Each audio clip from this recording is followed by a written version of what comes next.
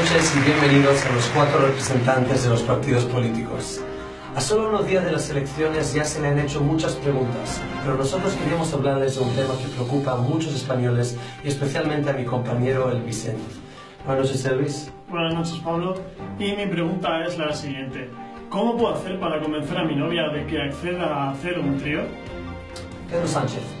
Este es un tema lo suficientemente serio como para no frivolizar con él. Está claro, señor Sánchez. No va a ser fácil. Lo sabemos. La pregunta es, ¿es posible? Se puede hacer. Y lo hicimos el pasado mes de febrero. Genial, porque esto me está costando mucho. Sí, ya intentó preguntarle a su novia una vez, ¿y sabes qué? Que dijo que no. Exactamente.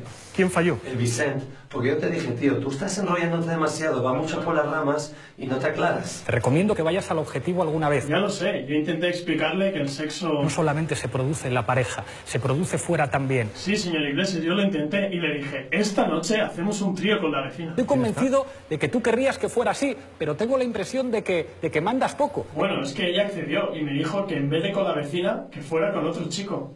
¿Y qué le dices? Yo digo que no.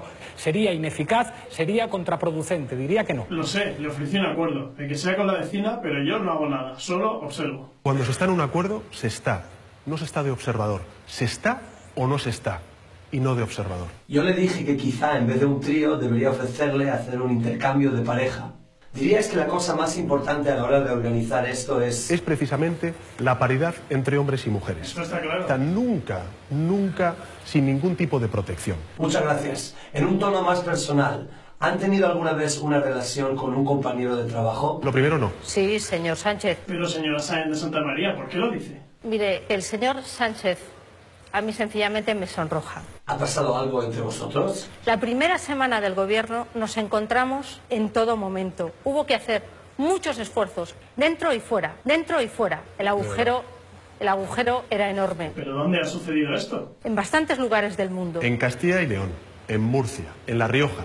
Lo hicimos en la Jurianea, lo hicimos en Estados Unidos hace unos cuantos días. Bueno, puestos a revelar tanto, señor Sánchez, ¿cómo describiría usted a la señora Sáenz de Santa María? Agresiva. Y agresiva ha sido.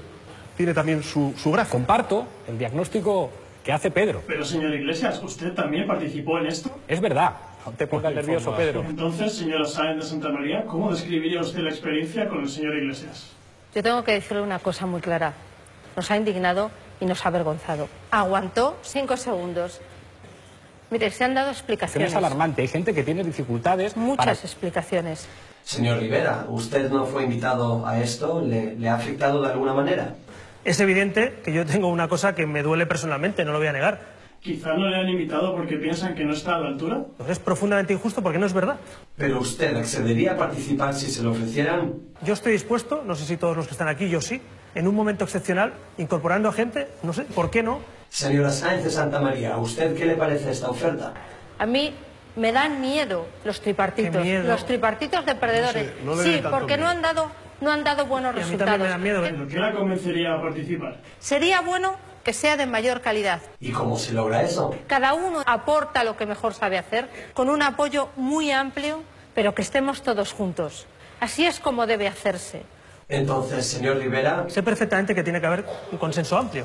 Y lo hemos hablado, Pablo y yo, es verdad que en eso estamos de acuerdo. Vamos a cumplir y todos tendremos que ceder. muy bien. Señora Sáenz de Santa María, al oír esto, ¿cómo ve su interés en una futura participación? Con crecimiento. Iba hacia abajo y ahora va hacia arriba. Señores, ¿algo que quieran añadir? Lo primero, darle las gracias a la señora Soraya Sáenz de Santa María. Señor Rivera. Cuento con ustedes, cuento con vosotros. Muy bien, ahora volviendo al tema original de la noche, señora Sáenz de Santa María, ¿podría por favor dirigirse usted a la novia del Vicente para ayudar a convencerla que conceda su deseo? Es justo reconocerse sus esfuerzos y empezar a devolvérselos. Y genera bienestar. Y por último, señor Iglesias, ¿podría usted dirigirse a todos los hombres que tienen el mismo problema que Elvis?